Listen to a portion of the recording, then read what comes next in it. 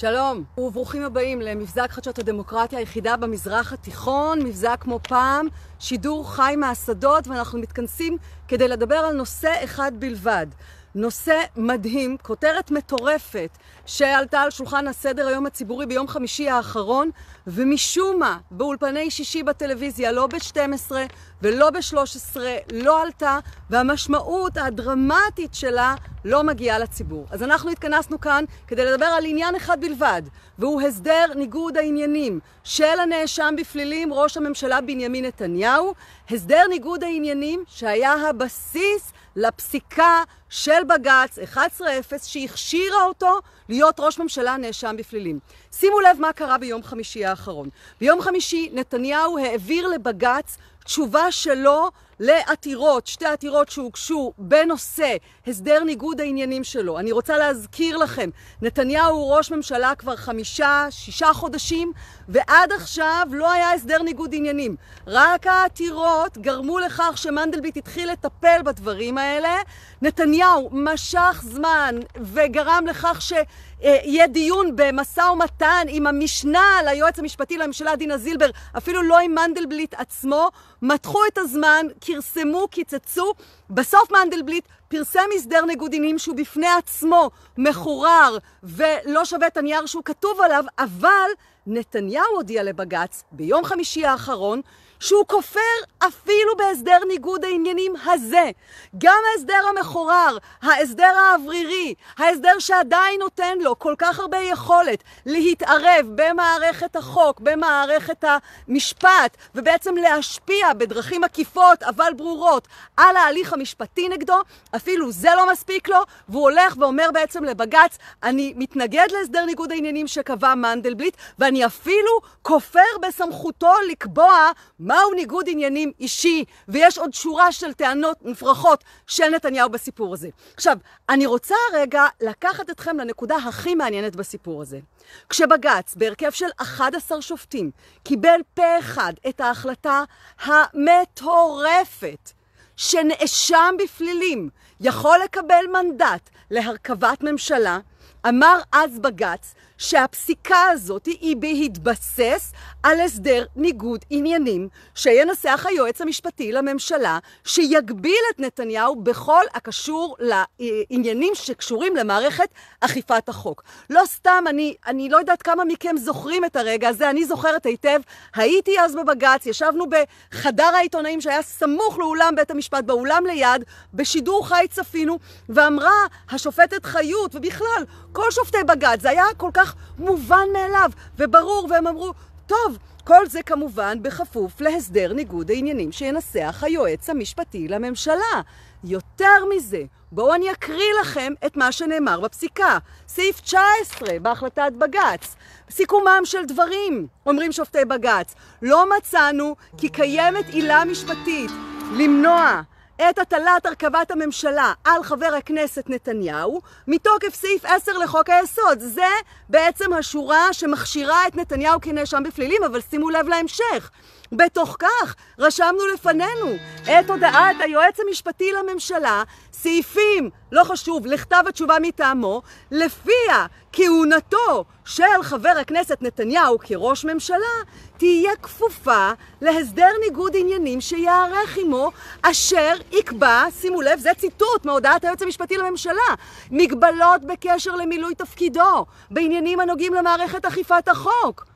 אתם מבינים? זאת אומרת, השופטים מכפיפים את ההחלטה שלהם לזה שכמובן יהיה הסדר ניגוד עניינים שירים חומה בין נתניהו למערכת אכיפת החוק ולמערכת המשפט, שנתניהו לא יוכל להשפיע בשום צורה על העניינים האלה. והיא עוד מוסיפה, מוסיפה חיות בא כוחו של חבר, וזאת, זאת שורת המחץ, בא כוחו של חבר הכנסת נתניהו, אישר את הדברים בטיעוניו הכתובים.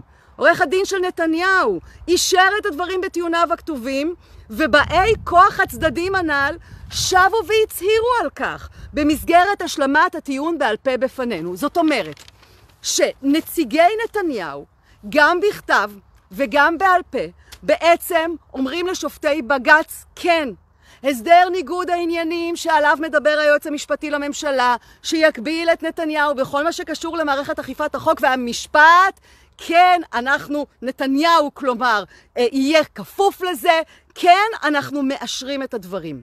כל זה קורה חמישה-שישה חודשים אחורה, כן? בתחילת מאי. ומה קורה עכשיו? מה קורה עכשיו בתחילת נובמבר? אנחנו נמצאים בסיטואציה שבה נתניהו טוען שרגע, רגע, מה פתאום? אני, אני, אני, היועמ"ש, הוא לא אין לו סמכות ליועמ"ש. פתאום, בחמישה חודשים, out of the blue, נולד טיעון חדש, משפטי. ליועמ"ש אין סמכות. אין סמכות לקבוע מהו ניגוד עניינים אישי או לא אישי. זה ראש הממשלה בעצמו יקבע מהו העניין האישי שעליו הוא אמור להיות מנוגד, כן? הטיעון המופרך הזה, שהעבריין יקבע לעצמו מהם גבולות העבריינות שלו. עכשיו, תשימו לב, הרי את זה, את מה מוסמך או לא מוסמך, את הפלפול המשפטי ההזוי הזה, יכול היה ראש ממשלה, יכלו באי כוחו, לטעון בפני השופטים. כבר אז, במאי, לא? למה לא טענו אז? למה לא אמרו אז, רגע, מנדלבליט לא מוסמך, רגע, רגע. לא אמרו, נכון? לא רק שלא אמרו, הטעו את בית המשפט, גרמו לבית המשפט שלתומו ובתמימותו אנחנו כבר לא היינו תמימים, אבל הם עדיין היו תמימים. בתמימותו חשב שנתניהו משחק לפי הכללים. הם חשבו שנתניהו, שזה, עוד פעם אני אגיד, בתמימותם, שהלו, מדובר פה באדם שמואשם בשורה של עבירות של מרמה, הפרת אמונים ושוחד, כן? אלה האשמות נגדו. שלא לדבר על כך שהסתרת סודות אה, והסתרת עסקאות עם מדינות אחרות הוא מסתיר במערכת הביטחון. זה הבן אדם שסמכתם עליו שהוא יהיה כפוף לאיזשהו הסדר ניגוד עניינים, אבל בתמימותם.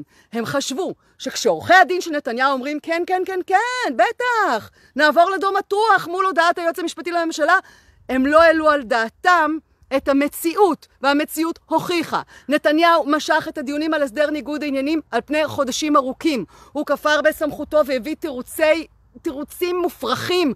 למה זה לא יכול להיות היועמ"ש? אז הוא דן עם, דן עם דינה זילבר, עם המשנה ליועמ"ש.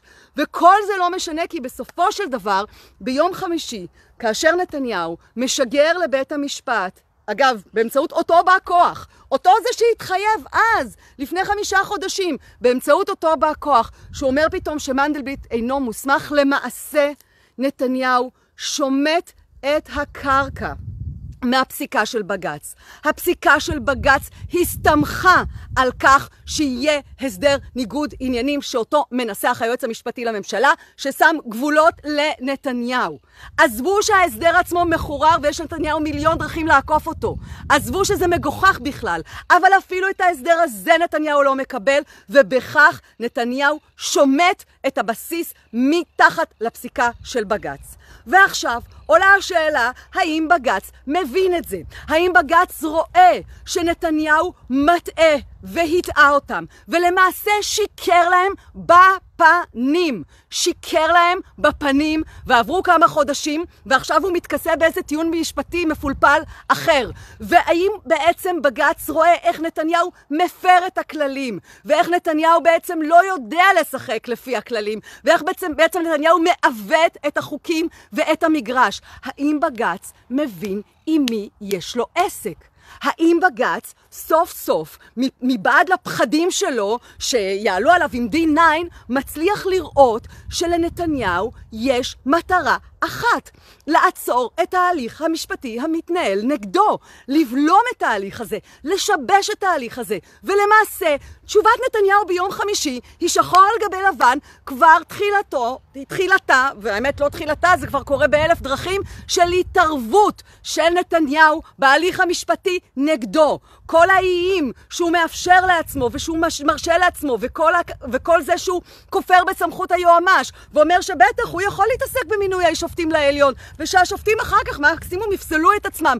כל ההזיות שנתניהו כותב לבג"ץ זה כבר תחילתו של התערבות בהליך המשפטי והשאלה היא האם בג"ץ מבין אבל מבין באמת שמשחקים בו, ושכרגע נתניהו מקשקש בהם, שכרגע נתניהו משחק בהם. האם הם מוכנים להישאר במצב הזה ולהיכנע למצב הזה? עכשיו, בפני בג"ץ, שהעתירות עומדות בפניהם, עומדות כמה אפשרויות. כמובן, יש איזושהי אפשרות הזויה שהם יגידו, היי, היועץ המשפטי ניסח, הסדר ניגוד עניינים. יש להם ארבע אפשרויות. הם יכולים עכשיו לבוא ולהגיד ככה, תראו,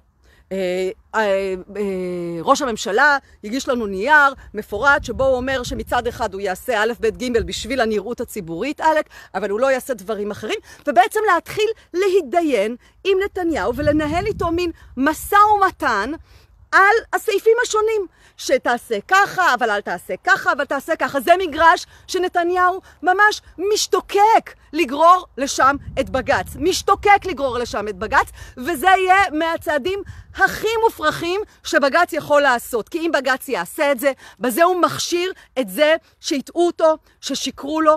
בג"ץ ילבין את השקר ששיקרו לו לפני חמישה חודשים. הוא ייתן סטמפה של כשיר. כשיר על שקר ששיקרו בבית המשפט בישראל. אז זאת אופציה א' שעומדת בפני בג"ץ. אופציה ב' שעומדת בפני בג"ץ זה לבוא ולהגיד אה, תקשיב, אה, אדוני נתניהו, נורא נחמד שאתה מתנגד להסדר של אה, מנדלבליט, אבל אתה חייב לקבל את ההסדר של מנדלבליט, וההסדר של מנדלבליט אה, עומד על רגליו ותקף, ואנחנו נותנים לזה חותמת של בג"ץ. אוקיי, גם זה יהיה צעד הזוי ומופרך ומטורלל של בג"ץ, ואני אסביר למה. כי ההסדר של מנדלבליט זה לא מה ששופטי בג"ץ דמיינו וחלמו עליו כשהם אמרו טוב, ברור שכל הפסיקה שלנו היא בכפוף להסדר שיעשה היועמ"ש.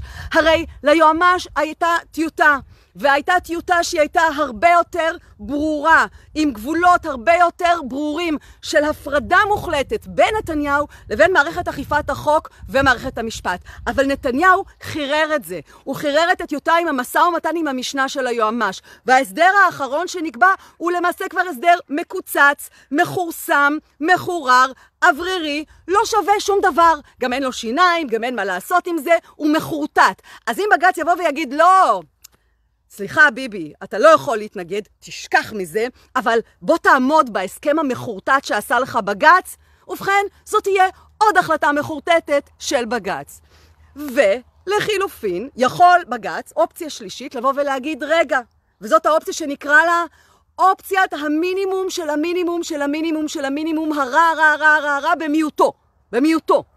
וזה לבוא ולהגיד, רגע, אנחנו אמרנו שאתה כשיר להיות ראש ממשלה, אבל זה בכפוף להסדר ניגוד עניינים אמיתי, שבאמת שם חיץ בינך, אדוני הנאשם בפלילים, למערכת אכיפת החוק, ולכן אנחנו נקבע עכשיו מהם הכללים של הסדר ניגוד העניינים הזה. ובמסגרתם אסור לך להתקרב לוועדה למינוי לשופטים, אסור לך לגעת בשום מינוי של אה, מפכ"לים, אה, ראשי אכיפת החוק וכולי, ואפילו המינוי של אוחנה הוא מינוי שאנחנו הולכים לדון על זה בצורה נפרדת, כי זה בפני עצמו.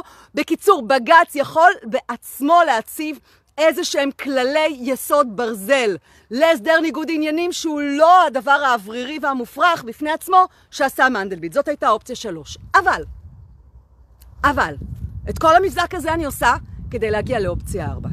כי למעשה, מרגע שנתניהו שמט את הבסיס המשפטי, העובדתי, המהותי, הענייני, לפסיקת בג"ץ, שהכשירה אותו כנאשם בפלילים בתפקיד ראש ממשלה, מרגע שנתניהו שמט את הבסיס הזה, בג"ץ יכול סוף סוף, אבל באמת סוף סוף, ברעש של מיליוני אסימונים שנופלים, להכיר בטעות שהוא עשה בפסיקת 11-0 ולבוא ולומר לא רק שאנחנו מכירים בזה שעשינו טעות שחשבנו שאפשר, אנחנו באים עכשיו לתקן את הטעות. ואדוני בנימין נתניהו, אנחנו נתנו לך חבל, נתנו לך מרווח כדי לפעול בצורה תקינה ולהיות נאשם בפלילים, נתנו לך ליהנות מהספק, לפעול כנאשם בפלילים אבל תחת הסדר ניגוד עניינים. ואתה עיקמת את ההליך הזה ואתה עיוותת אותו ואתה משכת זמן ואתה הטעית את בית המשפט ואתה שיקרת ולכן Game over. Game over. ואנחנו שופטי בג"ץ הולכים לעשות undo. ענדו להחלטה שלנו. ואם אמרנו שאתה כשיר, אז הנה אנחנו מודים. זאת הייתה טעות, טעינו, ואתה לא כשיר, אתה האם עם אימא של הלא כשיר. ולמעשה, לא רק ההתנהלות שלך בהסדר ניגוד העניינים מוכיחה שאתה לא כשיר. אתה לא כשיר כי אנחנו רואים בחודשים האחרונים איך אתה כראש ממשלה מנהל את המדינה אך ורק לפי האינטרס האישי שלך, ובניגוד לאינטרס הציבורי. אתה כולך ניגוד עניינים מובנה, כולך התגלמותו של ניגוד עניינים. אתה לא מקדם תקציב של מדינה שנמצאת במשבר הכלכלי החריף ביותר בתולדותיה, כדי להחזיק את הקלפים הפוליטיים קרוב לחזה שלך, כדי לחלץ את עצמך מההליך המשפטי ולבצר את שלטונך. אתה פושע נגד הציבור בתקציב. אתה הולך וסוגר מדינה שלמה ועושה סגר בניגוד לעמדות אנשי המקצוע רק כדי לסגור את ההפגנות נגדך אישית. ואתה פוגע באינטרס הציבורי לטובת האינטרס האישי שלך. ואתה מנהל את הקורונה, משבר בריאותי שלא היה כמוהו מאז תולדות המדינה, כן? אתה מנהל את זה לפי שיקולי ההישרדות הפוליטיים שלך, ולפי השיקולים הקואליציוניים, ולפי מי שמחזיק אותך בכיסא, ולא לפי האינטרס הציבורי הרחב של מדינת ישראל. ואתה מעכב מינויים ומשאיר מדינה על בסיס ממלאי מקום, ומשרדי ממשלה מתפוררים ומתפרקים. אין משרד אוצר, אין ממלא, אין מפכ"ל, אין משטרה, הכל מתפרק כי לך נוח להחזיק את הכל על בלימה, כי לך נוח להחזיק אנשים שהם חלשים שיסורו למרותך, כי אתה חטפת מדינה שלמה בניגוד עניינים מובנה ושלם מא' ועד ת' לטובת האינטרס האישי שלך. ולכן, לא רק שאתה לא כשיר ברמה התיאורטית, אתה לא כשיר גם ברמה המעשית, אתה מוכיח את זה כל בוקר במעשים שלך, ובפרט בהתנגדות שלך להסדר ניגוד העניינים. אז כן, בג"ץ יכול להחליט שהוא רואה את הטעות שהוא עשה ב-11-0, שהוא מכיר בטעות הזאת, ושהוא קם לתקן אותה. והוא עושה undo. עד כמה שזה נשמע מופרך, הכל פה מופרך, אז זה הזמן למופרך מהצד הנכון. לעשות undo ולהודיע. Game over. עד כאן, מבזק חדשות הדמוקרטיה היחידה במזרח התיכון, תפיצו, כי על הדבר הזה אף אחד לא מדבר בתקשורת. שבת שלום, נתראה ברחובות.